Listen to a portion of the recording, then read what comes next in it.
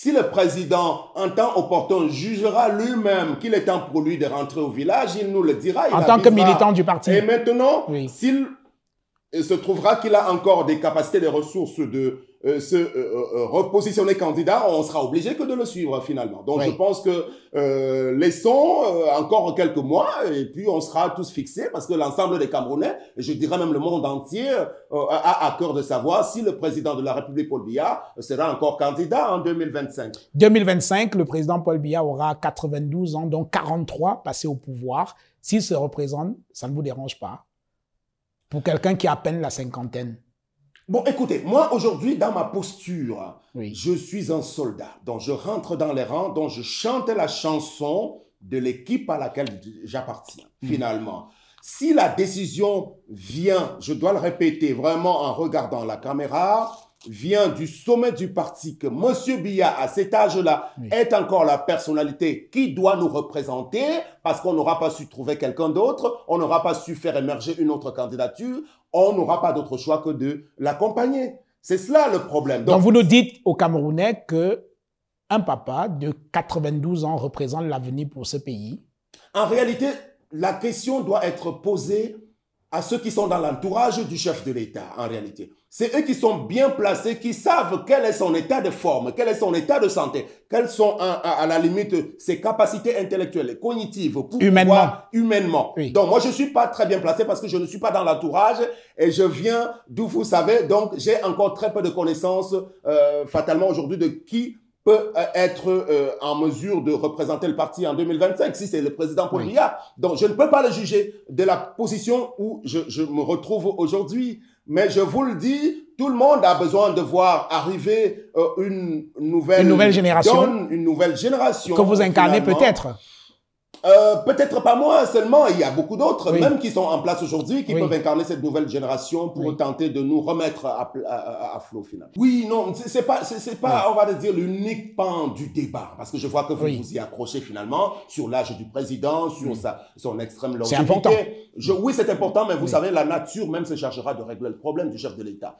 Je crois que lorsqu'il avait déjà traversé même une trentaine d'années à la tête de notre pays, ça pouvait déjà être problématique euh, mm. pour un ensemble d'observateurs. Nous mm. étions là pour dire que euh, c'est déjà un peu trop, même à 25-30 ans, parce que l'ancien président n'avait pas euh, atteint ces records-là. Donc aujourd'hui, le débat en interne va se faire. Avant même d'arriver au RDPC, vous observiez déjà ce parti, même en tant que journaliste et ensuite comme politique. Est-ce que vous pensez qu'au RDPC, il y a des gens qui peuvent être des alternatives crédibles à Paul Biya oui, je le pense, mais je ne le dirai peut-être pas. Enfin, je citerai pas les noms. C'est trop dangereux de le dire. oui, c'est trop dangereux. il faut bien, euh, euh, il faut bien reconnaître que c'est à l'intérieur justement hmm. de ce RDPC qu'on retrouve l'essentiel de la ressource humaine qualifiée aujourd'hui au, au, Cameroun. Vous savez, dans, dans les différentes équipes auquel j'ai appartenu effectivement depuis 2018. Je me posais toujours la question autour de, de, de, de nos leaders. Si on gagne l'élection présidentielle, on va diriger le Cameroun avec qui finalement? Parce qu'il n'y avait pas grand monde au niveau des différents profils qui se bousculaient. Or, aujourd'hui, que retrouve-t-on dans les rangs de ceux qui sont euh, l'élite intellectuelle du RDPC Eh bien, de très très beaux profils. Hein. Et le cas Franck Bia, vous l'y voyez? Franck Biya, le fils de son père, je pense que c'est un Camerounais.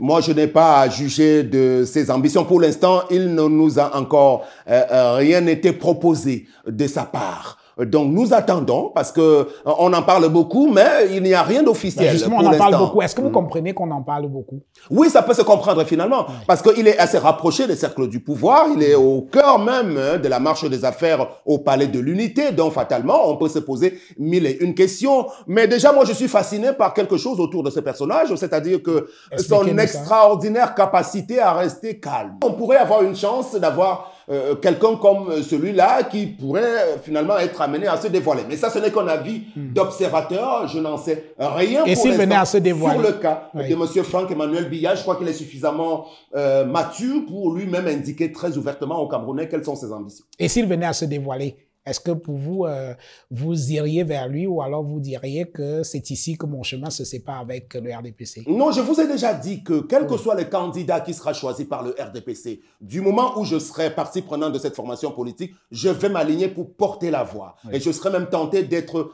candidat comme porte-parole hmm. du candidat à l'élection présidentielle du RDPC en 2025.